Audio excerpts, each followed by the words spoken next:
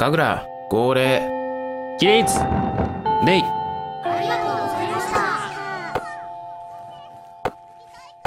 えねえちょっと張り切ってるよあの子マジで？あいつ浮いちゃってんじゃんその格好、なんかあったの？あ、あ、え、えっと、その、あ、ごめんなさい。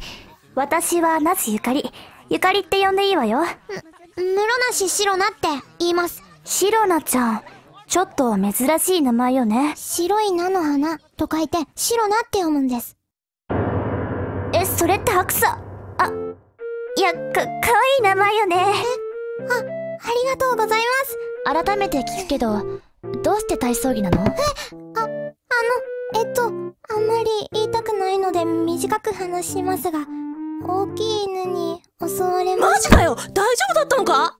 あんたいつから聞いてたのよ？いやーずっと立ち聞きしてたんだよあ、私ホーレンジ奏でゆかりとは中学からの腐れ縁よ、よろしくお願いします。どうだったんだよ？川に落ちました。なるほどそれでパンツもびしょ濡れにちょっとかなで。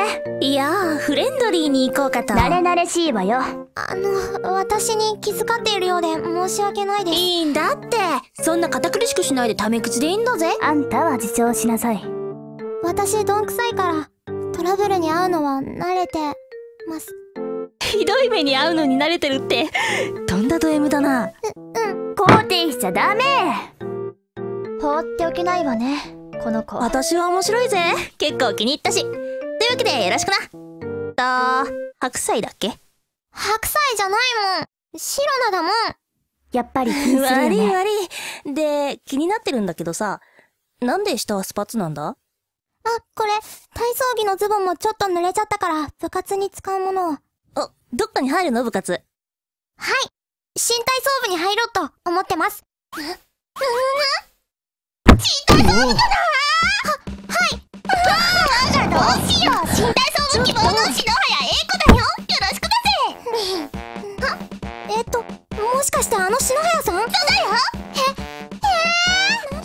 って確かこの辺りの中学出身の中で有名らしいんだってとんでもない子がクラスにいるわね。